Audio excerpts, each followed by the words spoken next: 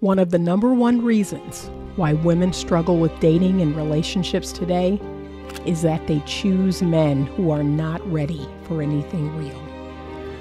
Ladies, there are lots of great relationship ready men out here.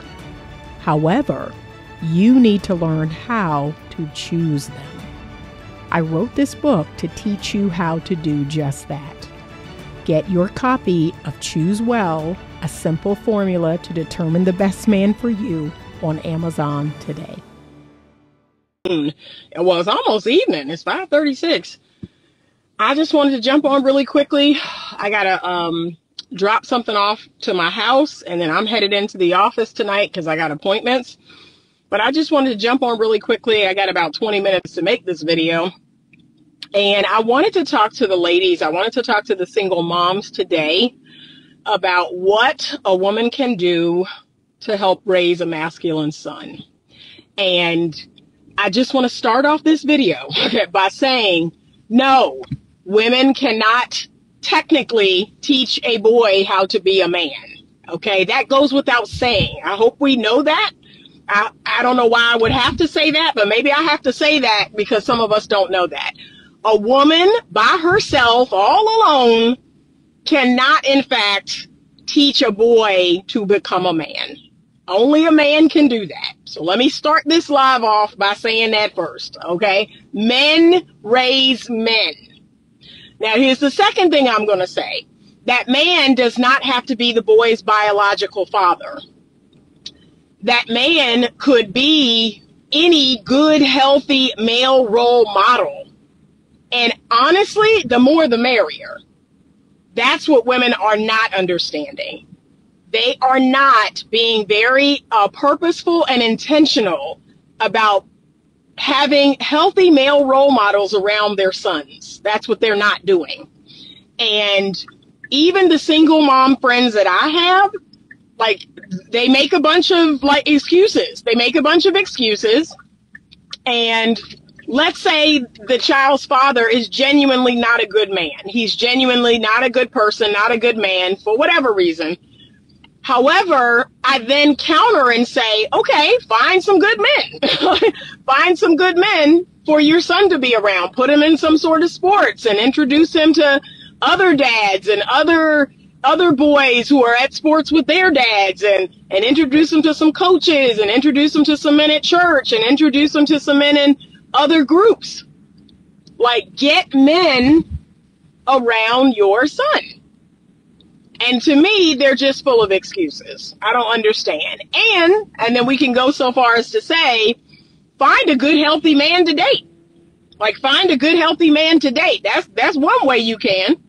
Find a good, healthy man to date and slowly integrate that person with your children.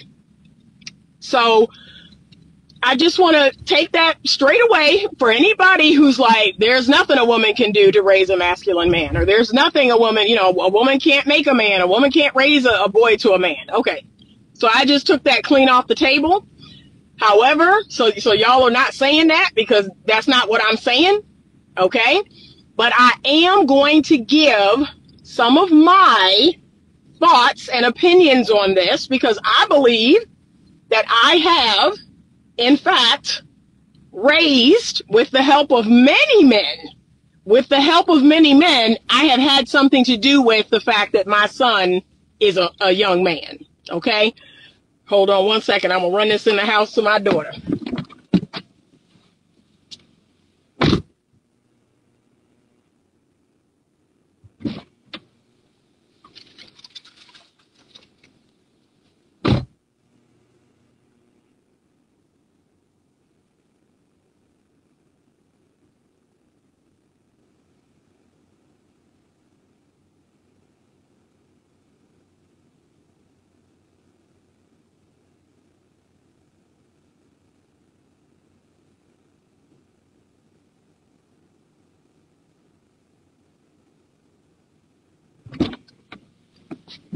All right, y'all, I'm back.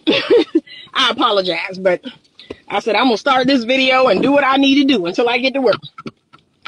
So, I believe I have raised a very good young man.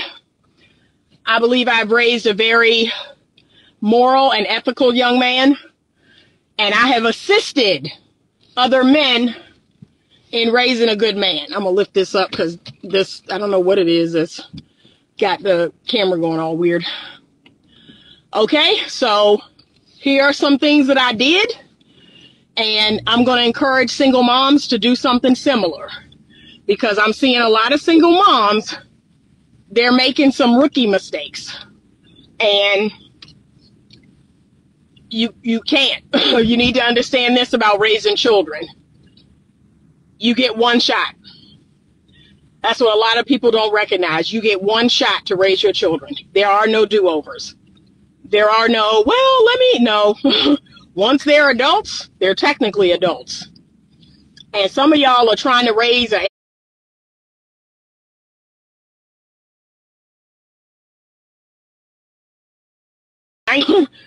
and you only get one shot. So that's for all my mothers of, of children, boys and girls, that your children are young. Like you get one shot. Okay, so please do it right the first time because that that's really the only time. the only time is the first time, okay? So here's some things I'm going to suggest to single moms that I think were very helpful, very instrumental in the raising of my son and all my children, but I'm going to specifically talk to my son. So when my son was nine or 10 years old, one of the things I did quite often was I encouraged chivalry. I told him what that word meant. I gave him the definition of it and I gave him some examples of chivalry. And again, other men, men, men that were dating me or his father or his grandfather or his uncles, they also did this. They also said, yes, you want to make sure your mom, your sisters, you hold the door open for them, you hold the car door open for them. You want to protect them. You want to make sure they're good. You want to make sure that wherever it is you all are going, that the women that you're with are protected. And so I started talking about this. I started have, having the men in our lives talk about it. And nine, ten years old, that's what I encourage. You know, if, if you're out with us, if it's me and your sisters, that's how I want to see you conduct yourself. The other thing I did was from maybe 11 or 12, I started to allow my son to make decisions. I allowed my son to make decisions for himself, for us. One of the things that I would do every now and again is we would go out to eat and I would ask his opinion about, hey, what do you think is good here? What do you think I should order? What do you think, you know, is what looks really good? And I asked his opinion a lot because I wanted him to get comfortable with making decisions. I wanted him to get comfortable with being decisive. Okay? And sometimes, like, he would make a suggestion. I was like, oh, that's a really good suggestion. Okay. When the waitress or waiter comes back, can you order that for me? So I would even go a step further. He would order for himself. He would order for me. Sometimes he would order for his sisters. But I was already grooming him to be a leader. I was grooming him to take responsibility. I was grooming him to be in charge. Because in my mind, that's that's a man's God ordained role is to be a healthy leader. Now, a lot of men today, you know, they don't have a clue how to lead. They haven't had much. Uh, they haven't had much practice leading and so they really don't know how to lead because they haven't had much practice leading. Um, and that's unfortunate. And there's lots of reasons for that. But yeah. But I was doing that with my son pretty young. When my son turned 12, I officially told him that he was going to start washing all of his clothes he was going to start, you know, cleaning the bathroom. There were certain duties that I gave to my son that I said, yeah, these are now your duties. These are the things that I expect you to do. Now, when he was, I think he was 10, he took over the care of our pets. So he took over the care of the dog, the cats, you know, he was taking care of the pets. And my daughter was cleaning the cat box. But when he turned 12, I said, well, we need to learn how to cook. We need to learn how to clean your bathroom. You need to you need to wash all of your clothes. I'm not going to wash any more of your clothes. I remember that conversation and the look that he gave me about it because he was just like, "What? I got to do all this?" Yeah. Yeah, you need to become responsible. And one of the ways you're going to do that is by learning how to take good care of yourself. And so my hope is that my son will one day get married and he'll have a, a beautiful wife, a very capable, feminine, beautiful wife. However, you know, I don't know what's going to happen. So I made sure to train all of my children in how to cook, how to clean, how to wash their clothes, how to take care of their pets, how to do very basic things in life. And keep in mind, all the while, there are other men in his life his father, his uncles, his grandfather, two of the men that I dated, they're all pouring into him. Other men in our church, like they're all pouring into him. They're all talking to him. They're all doing things with him. Okay. And around maybe 14, 13, 14, uh, I had the sex talk with my kids when they turned nine. So nine was the sex talk. Then I did it again around 11 or 12. It was the, it was the human sexuality. So it was the human sexuality talk first. Then it was the sex talk around 12. Then around 14, uh, we kind of had it again.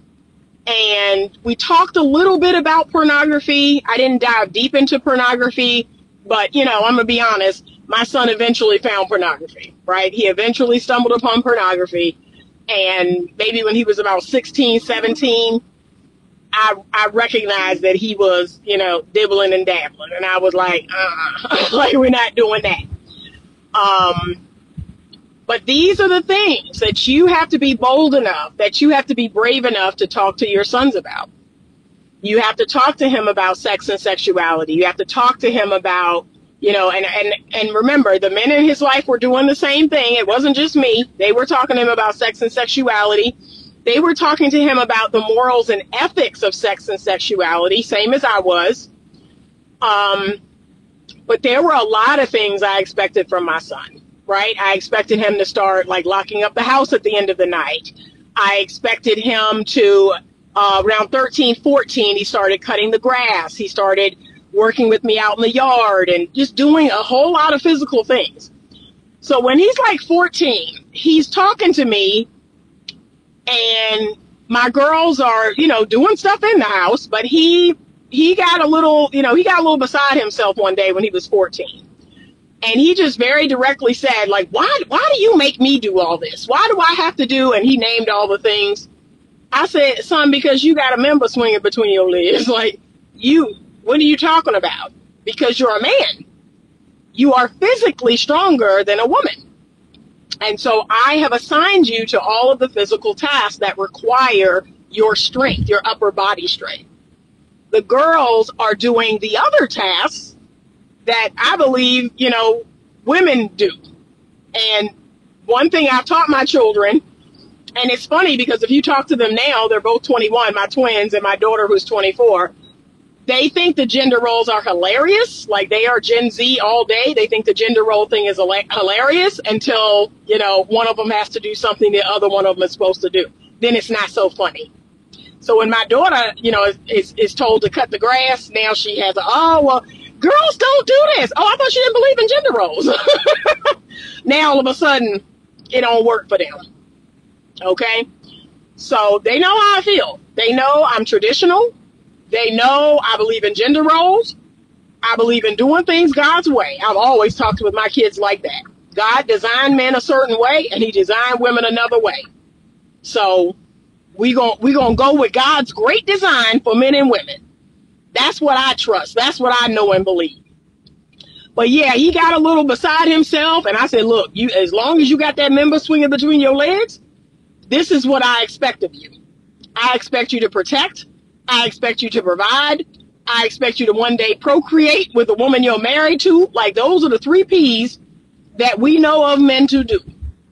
But yeah, I am, you are a male. You know, you are a male on your way to becoming a man, and I have expectations of you as a male. And so, you know, he went through some ups and downs. He went through some periods where, you know, he got a little beside himself. He would talk back. He would get a little, you know, there was a period when he was 19 where he went down to his dad's house and he was down there for maybe five weeks. wasn't very long. Um, but I had had it. I was over it. I was like, yeah, bro, you need to get on up out of here. I don't know what to tell you. Um, you need to go on up out of here. and I took him to his dad's. He stayed down there for five weeks, and he got to he got to truly appreciate me. he got to truly appreciate the mother that I am and all that I do. Cause he came back singing a new song, singing a new tune, and he been singing that tune ever since. But ladies, here's the most important thing: you cannot nurture your son past the age of 11. And y'all gonna feel a way about that. Things that are older, people that are older, and things that can eventually take care of themselves, we do not nurture. My nurturing is for babies. My nurturing is for my plants. My nurturing is for my pets. That's it. Those are the things that I nurture. Grown men, I do not nurture. I support. I love them. I honor them. I, I respect them. I collaborate with them. I do a lot of things with grown men, but nurturing is not one of them. That is not a word that I would use. And then secondly, because I got to make this short, um, a lot of y'all are harder on your daughters than you are on your son. I don't, I'm hard on everybody. I'm an equal opportunity hard. If you don't know nothing about my channel by now, it is that I come for everybody. Okay. So I don't know why people will watch one video of mine. Oh, she talking bad about the men. Okay. Go to the next one. Oh, she talking bad about the woman. Okay. Go to the next one. Like I said, I'm, I'm going to come for you. so I don't know why we're confused about that. I, I'm an equal opportunity. I'm coming for you. So all of my kids know what I re- require. They know what my standard is. And I would say this, my standard is a tiny bit higher for my son. I wouldn't say a whole lot higher, but it's a tiny bit higher, but my standards are high. My standards are pretty high. Okay. So what I keep seeing is moms making life easy for their sons. Moms you know, coddling their sons. That's something I absolutely cannot stand is a mother coddling her son. That is pathetic. You have got to, if anything, make life harder for him, not easier. And not harder in a way of like abusive, but stop cleaning his room, stop washing his clothes, make him learn how to cook, make him take out the trash, make him cut the grass, make him take care of any pets you have Tell him what your requirement is for men. That's what I've shown my, my son all my life. Like, this is my requirement for the men in my life, including you. You are going to protect and provide for me. You are going to protect and provide for your sisters in the home. That's my standard. This is what women like. This is what women don't like. You need to learn how to be decisive. You need to learn how to take initiative. You need to learn how to lead in a healthy way. And the number one thing that we need to say about leadership is they are good role models. That's what a lot of men miss. Y'all love telling people what to do, but you don't want to lead by example. That's my problem. If you're going to be a good leader, be a good role model. So guess guess what can't make you a leader? You out here smoking weed all day. Guess what can't make you a leader? You out here drinking to intoxication. Guess what can't make you a leader? You out here running around the street cheating on everybody. You you can't lead. You can't lead with those behaviors. You're a poor role model. Cussing and fussing and physically getting violent with people. No, you can't lead because you are a poor role model. okay? So let's make that clear. My son no longer looks at porn because I was like, nope, we're not doing that. So I did all these technological things to make sure he couldn't get it in my house did stuff to the phone, put an app on the phone, the whole nine. You can't watch that in my house. Okay? And healthy leaders do not sit around watching that. My son cut back on his video game playing. He started reading more. He, he, he works full time now. Like, yeah, he runs errands for me. He does things for me. But the expectation is that you be a strong, responsible young man that you lead by example, not by telling people what to do. But ladies, you need to require something of your son. You need to have standards for your son. You need to have boundaries with your son. You need to let him know that, hey, this is what we're not going to do. And you need to let natural consequences fall. What are some natural consequences? if you don't do what I ask you to do and I pay your phone bill, your phone gets cut off.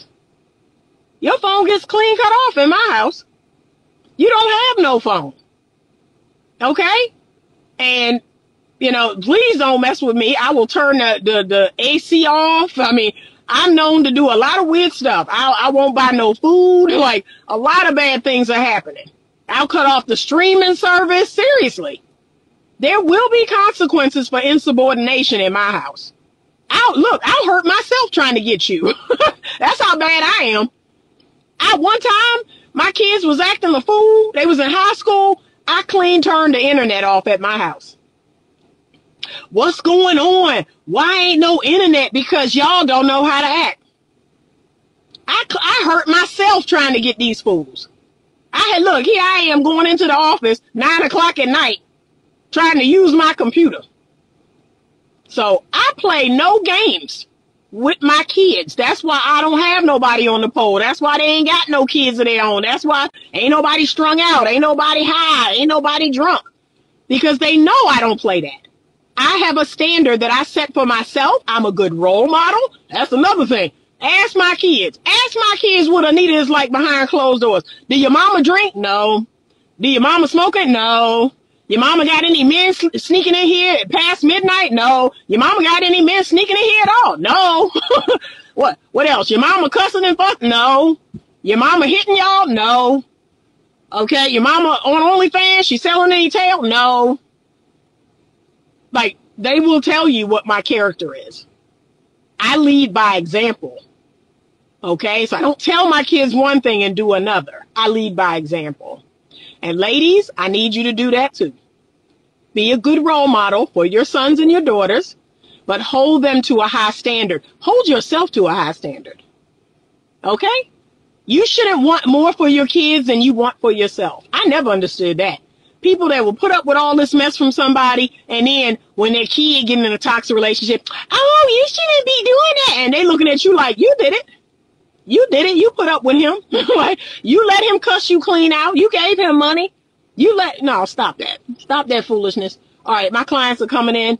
Y'all have a good rest of the day. Thank you so much. Single moms, keep your head up. I love you all. You're doing a fabulous job. And as always, stay open to love.